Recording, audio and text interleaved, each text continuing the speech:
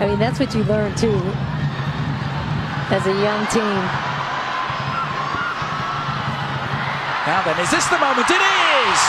Tobin Heath gets the party started in Pasadena.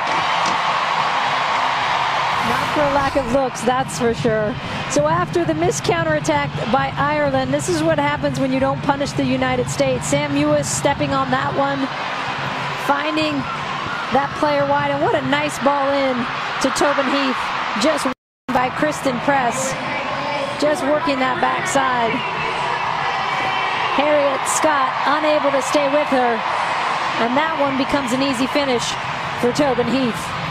But a great ball in by Christen Press.